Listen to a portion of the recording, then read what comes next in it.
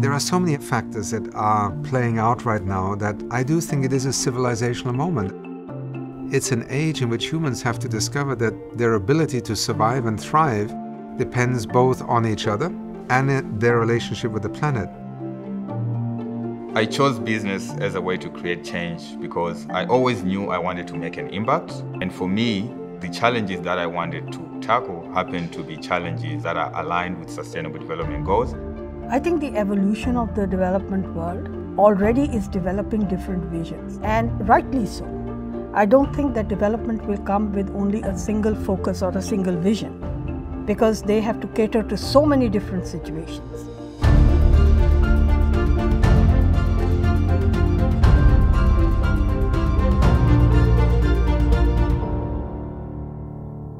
If you think about the future of development, the first thing that comes to mind is disruption. We have lived through a pandemic. The UNDP Human Development Report estimates that we regress probably to the year 2016 in terms of development progress. We obviously have to deal with a great deal of these disruptions right now, but what is quite clear is that there are also opportunities. I think the increasing recognition in the power of technology are driving change in the development world. I also think it's becoming more inclusive in involving the young people, a collaboration between the private and public sector, but also an understanding in the importance of having local partners and local knowledge when building solutions. I think the factors that are now driving the change in the development world is a more attuned approach towards people centered development. So I think these are some of the things that we have to now build upon and build upon in a way where we are able to transfer a belief in the equal right to dignity to the next generation.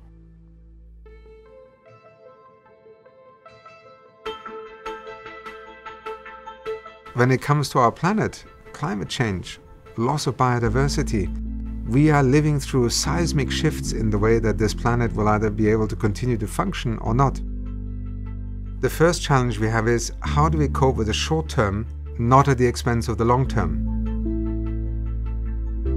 The way I define intergenerational equity is very simple. It's making sure that the generation alive today does not compromise the needs and the interests of those to come. Uh, it means that in every action that we take and the decisions that we make, we are keeping in mind the impacts of those decisions and actions. I think that is going to be part of the debate of our generation and the next generation how do we set the parameters for making decisions about what matters and which things we want to invest?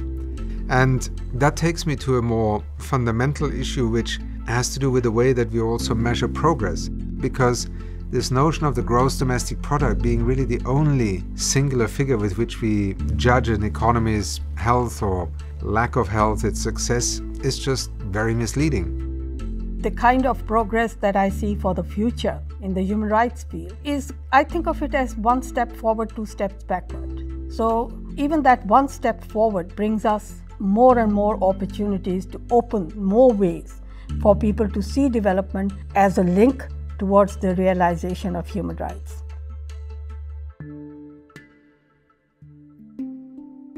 My vision for the future of development is one where all people have access to the resources and opportunities that they need to grow and succeed, regardless of their background and circumstances.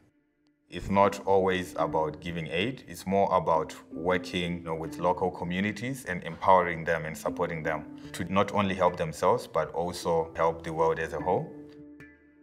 The most important change that I see in terms of my own human rights work with vulnerable communities is where it has been possible for us not to be the agents for those communities.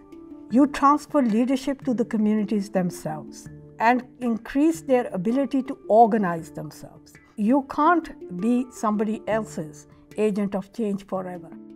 Digitalization is changing virtually every aspect of development. And something we might not have thought imaginable just a few years ago is today a reality. These are extraordinary breakthroughs.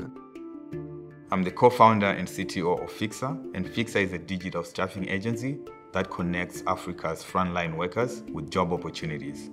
Over 400 million workers on the African continent are employed informally, That means they have no formal employment contracts, they have no access to social protection, no access to health insurance, bank accounts. So what we do at Fixa is by digitizing these workers, we provide them a digital career identity that allows them not only to access more job opportunities, but also to access finance. Another example is women in the financial system.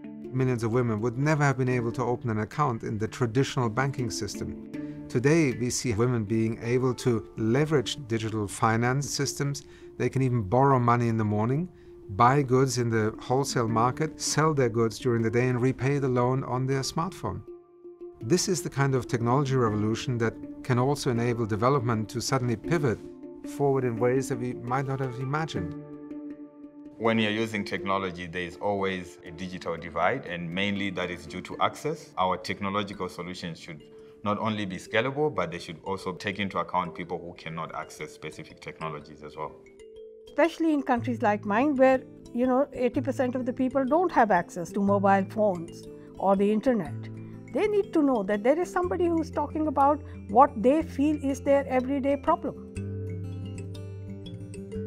Development is always a commitment to looking for those who are least likely to be able to help themselves. That is how social safety nets are built. That's how social cohesion is built. That's how solidarity in a society grows, also. Development doesn't have this possibility of being a top down approach, it has to be a bottom up approach. So, minorities, whether they are religious or ethnic minorities or racial minorities, these are the people that you must see. And everybody has rights. Look at the indigenous people, for instance. The fact that they lost these rights on the way, and that was called development, now seems such a ridiculous idea to us. If development models are serving communities, it is only then that development becomes sustainable.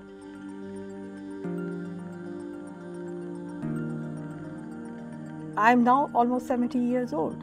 And I know that many of the challenges that I face as a human rights defender or as a woman will not go away in my lifetime.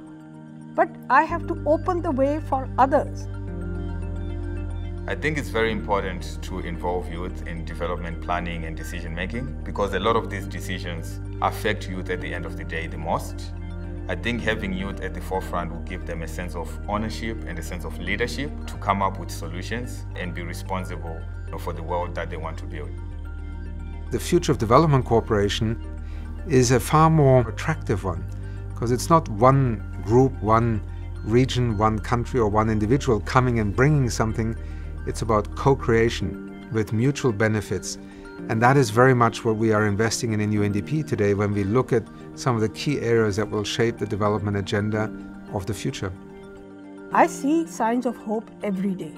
As part of the group of elders, we have celebrated these sparks of hope.